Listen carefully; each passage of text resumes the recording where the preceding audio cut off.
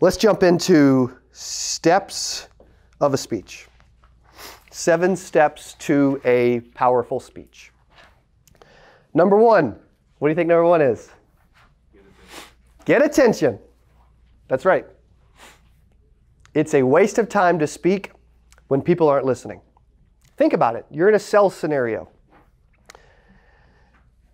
And you're trying to speak, but they're, they're, they're like watching the TV. What do you do? I don't keep speaking. Miss Betty, I'm struggling to pay attention. Can we turn the TV off for a few minutes? Okay, I'm having trouble focusing. Can you help me out? You could do that for me, can't you? Right? Sure? Good. Like, I'm, I'm not going to speak if I don't have the, everybody's attention. Like, I see a lot of conferences, and, and, I'm, and, and I'm, I'm learning. So, when I use other speakers as examples today, it's not because I'm better than they are. Trust me, okay? I'm, I'm learning, but I'm watching and learning from what's happening.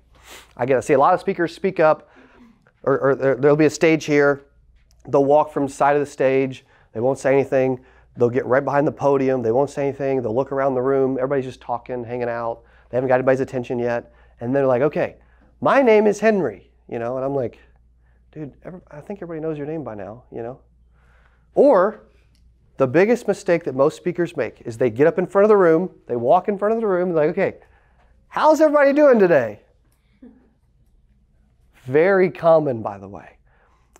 What that means is they didn't think of what they were going to say when they walked up, and then they just said it because they're like, crap. Uh, you, you, folk, watch that.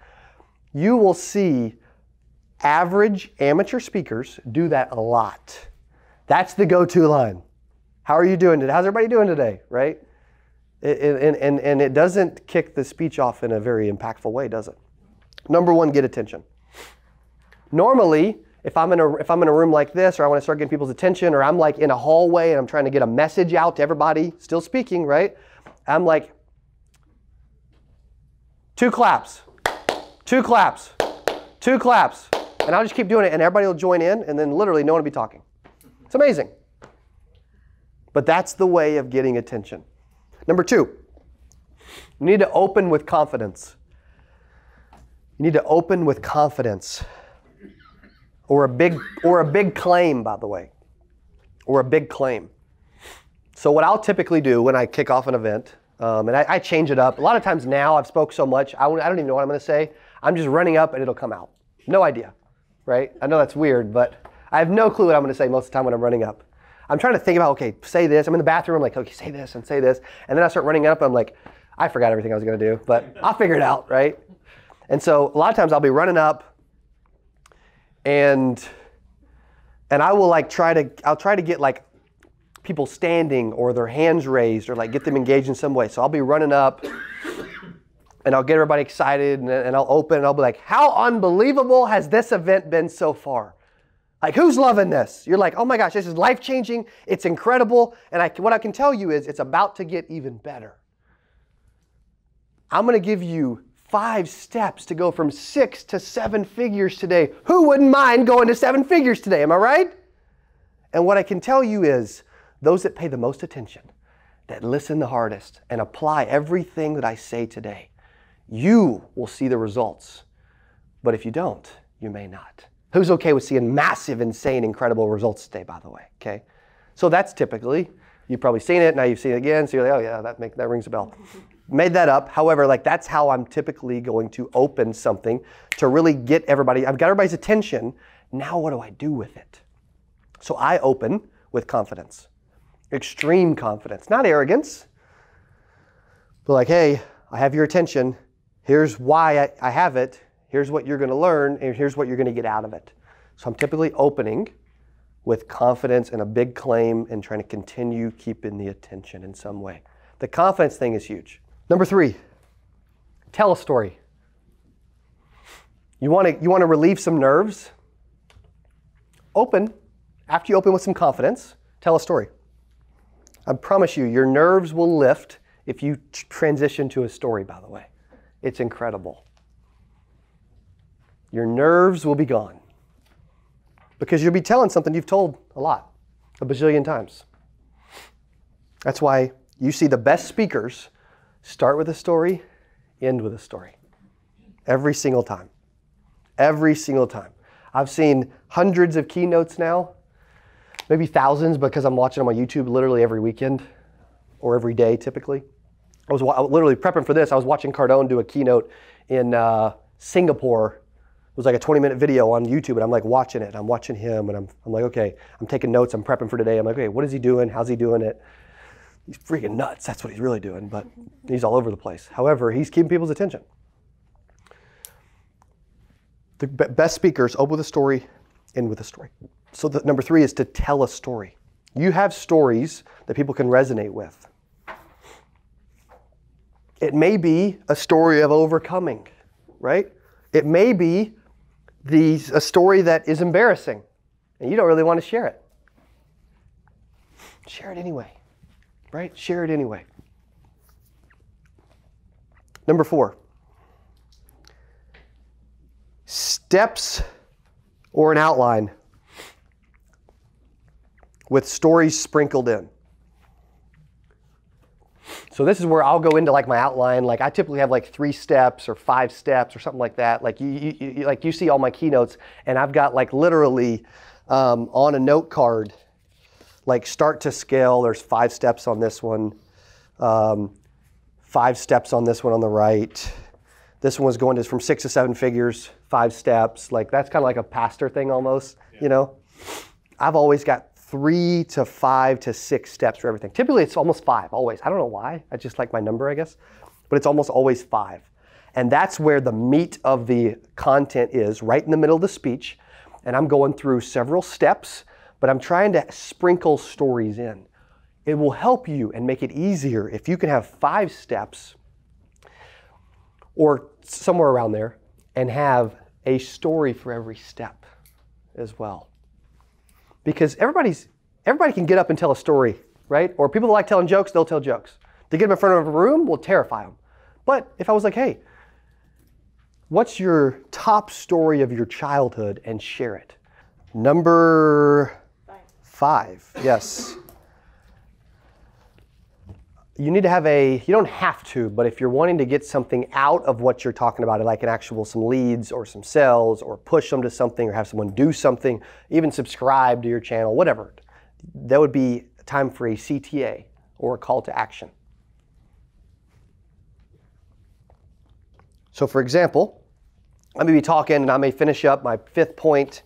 You know you got to build a team and my whole sales team walked out and i was terrified i didn't know what i was going to do but then I soon realized this is the time, this is my chance to build it right and to do it right the first time, right? And you may be listening and thinking right now, man, I want to build a team. I want to build a massive organization.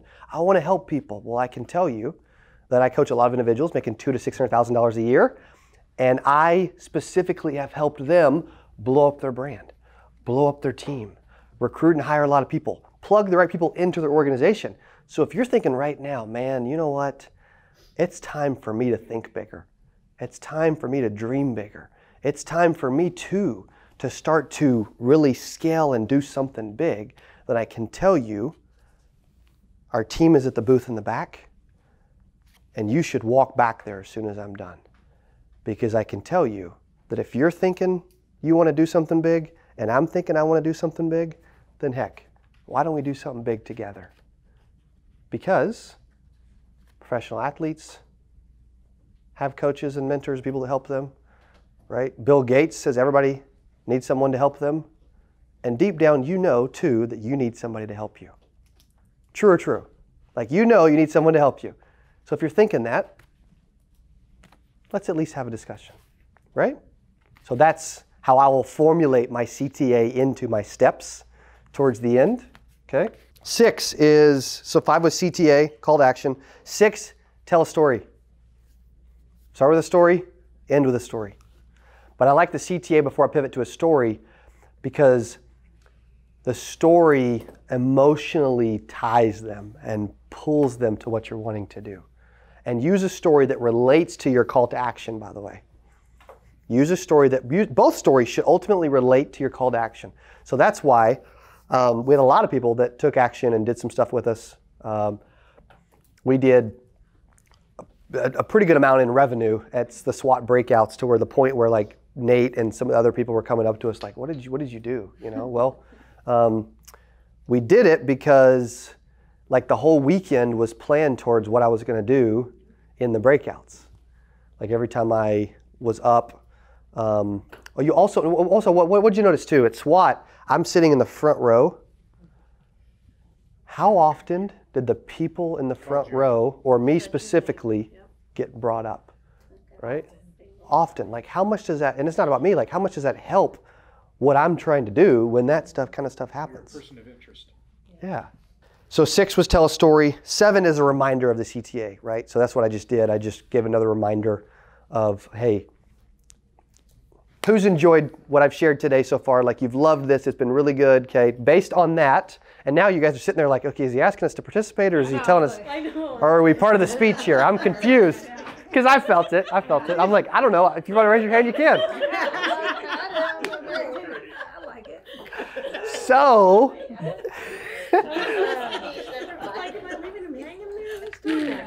so, r- reminder of the CTA would be okay if if you've like who's loved what you so let's participate as if I'm speaking to a real audience, right? Who- Who's enjoyed, really enjoyed what you've heard so far, and you're like, you know what? I believe, I truly believe that it's time for me to do something big. Who else is like, you know what? It's time for me to do something big. I'm really thinking about it. Okay. Also, you got to be patient with people, right? You got to kind of pull them along. Don't just say something, nobody raise their hand, and just move on. Like, like it's accept responsibility, right? And you're sitting there, and you're like, man, it's time for me to scale. So by show of hands, who really wants to scale, add a bunch of people, and really grow something big? Okay. So based on that, I know that when we work together, everything in your life will change because for everything to change, you got to change. Who believes that, by the way? For everything to change, you got to change. Okay, so as soon as I get done, I will be standing at the table in the back. I want to meet you. I want to shake your hand. I want to get a picture, and I want to spend some time with you talking how we can blow up your brand and your company. And I'm guessing because you raised your hand that you do as well. Who wouldn't mind if you doubled your company in the next 12 months? Right? I wouldn't either, by the way. Okay, so based on that, as soon as I'm done, I want to meet you at the back table. Sound fair enough? Can you do that for me? Okay. You guys have been amazing. Okay. You guys have been amazing. Thank you for being here.